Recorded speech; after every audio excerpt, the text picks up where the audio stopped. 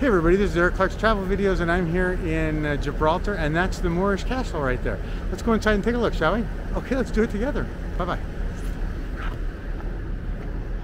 So that's the Moorish Castle and I think you have to buy a ticket, but I think they sell the tickets down here in this little white building and then you can go inside and you can work your way to the top of it.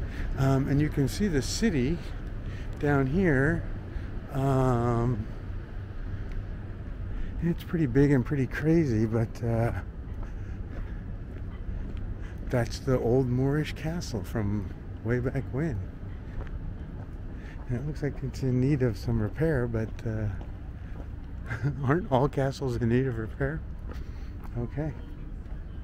Let's see what happens here.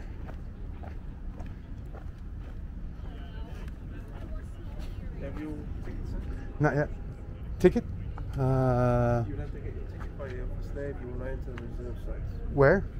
By your first day with the. Have your ticket, man. I'm local. Okay, so you have to buy a ticket in here.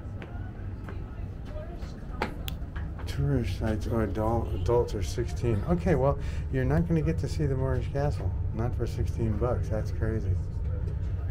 Anyway, that's the Moorish Castle from the outside. So 16 bucks is really like 20 bucks for a castle. Interesting. Okay. Crazy, crazy. Bye, everybody. I should have came here earlier when uh, they weren't requiring the tickets, but uh,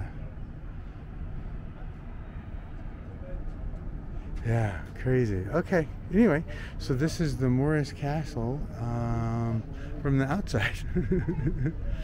Very cool, and you can see how many people behind me are skipping this because it's just uh, crazy, outrageous. So very cool. Cool. All right, everybody. Bye bye.